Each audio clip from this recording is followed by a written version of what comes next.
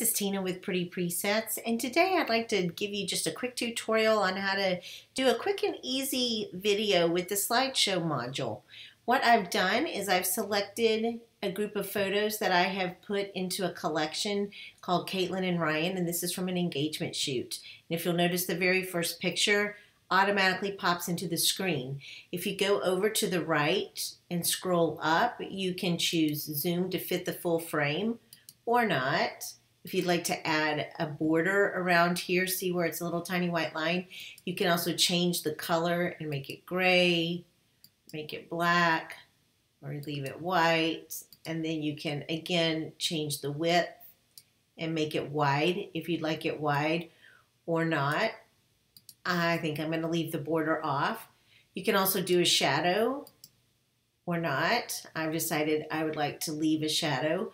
You can also change the opacity and the radius and the angle and all of these things right here. It's very quick and easy. Just adjust your sliders, make the shadow look the way you want it. Uh, you can also select watermarking. So if you'd like all your watermarks to show up on your, wherever you have it in your image, it's right here. I took these in 2015, so I'm just going to change that.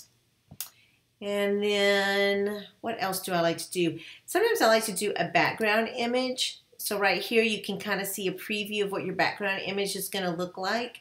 This was a still life that I took of his ring from the Naval Academy and her engagement ring. So I think this kind of adds a nice little touch and then all the images are going to float right on top of this as you go along.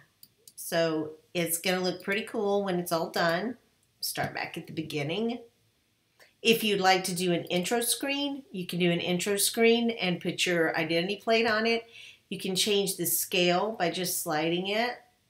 Let's go up. I think 30% looks fine. You can do the same thing with an ending screen. Again, you can slide that, make it as big or as not. The next part is you just go down and select if you want to put it to music. If you do, you need to know where your music is. I'm on a Mac, so I'm just going to scroll over here to music and it's gonna go. I've already got it on my playlist, which is my editing music. I'm gonna pull this down so we can see it. I happen to know that this is one of the bride's favorite songs, so I'm gonna choose that. And then I'm gonna fit it to music just by clicking, and it's gonna automatically adjust to all of my slideshows, all of my slides, the phase and how long that they show to kind of coincide with the music. This, of course, will change if your music is shorter or longer or if you add more slides.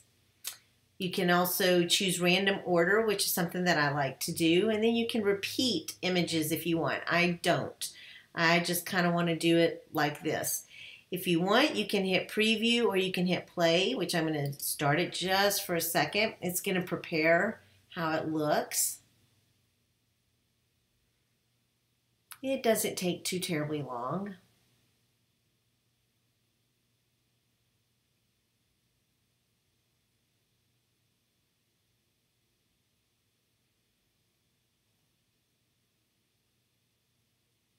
Well, sometimes it takes longer depending on how many slides you have in here. But really, overall, it doesn't take that long to prepare it, so you can kind of look at a preview and kind of decide if you like the way your slideshow looks, if you like the way the music is going to make you feel with the slides, for me, I like to use these when I reveal my my images with a client or with a family or, or a friend, um, just because it kind of puts that emotion of seeing all their images and how beautiful they are into, and you get a real emotive quality whenever you set it to music. At least that's my opinion. So I'm going to go ahead and cancel this just for the sake of the tutorial. And then when you're done, you just hit export video you choose your destination where I have mine set to my desktop. You've got your video preset. You can set it any size. I like a high quality. And then you just name it whatever you want. And that's it. I'm not going to export right now um, because it does take a while to export, particularly if you've got it set to the highest settings. However, I'm going to minimize and show you how a different slideshow looks.